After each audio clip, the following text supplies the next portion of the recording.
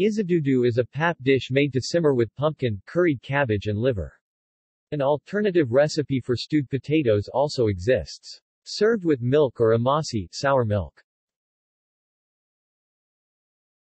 See also List of African dishes